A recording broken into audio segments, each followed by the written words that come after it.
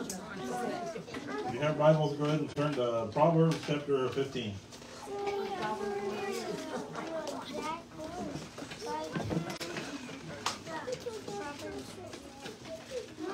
Proverbs chapter 15, verse 28.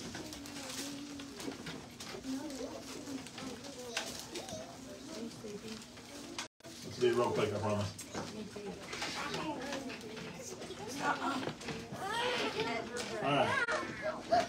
Verse 28 The heart of the righteous studieth to answer, but the mouth of the wicked poureth out evil things. The Lord is far from the wicked, but he heareth the prayer of the righteous.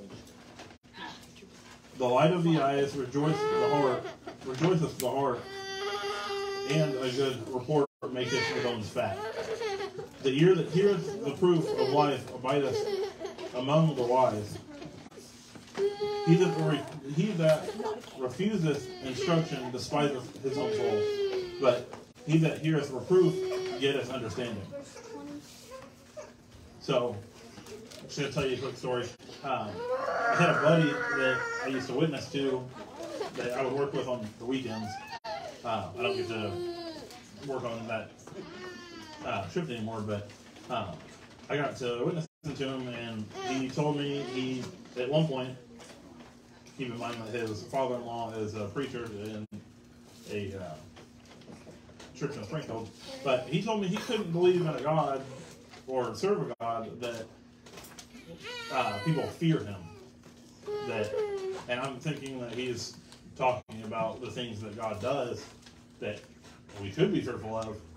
I mean, Lot's wife got turned into a of salt. Everybody knows what happened to Sodom and Gomorrah. I mean, these are fearful things. But when you get your heart right with Lord and He'll bring you the knowledge and wisdom that comes with being saved. So, uh, uh, oh, excuse me, I didn't read 33. I meant to. The fear of the Lord is the instruction of wisdom, and before honor is humility. And it's the instruction of wisdom that's the, the big key thing there. Um, he wants to give you that wisdom, but you have to have that humble servant's heart.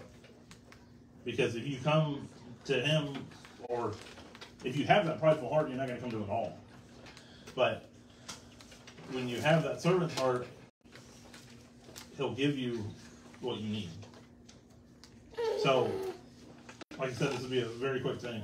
Um, so my question for you today is, are you taking the approach with the, the deal, the problem that you have in your life? Are you taking the approach with the servant's heart, where you need to come to Jesus with it, or are you being more of a no, or uh, the Jonah today and refusing the instruction that he's trying to give you, and just going your own way with it?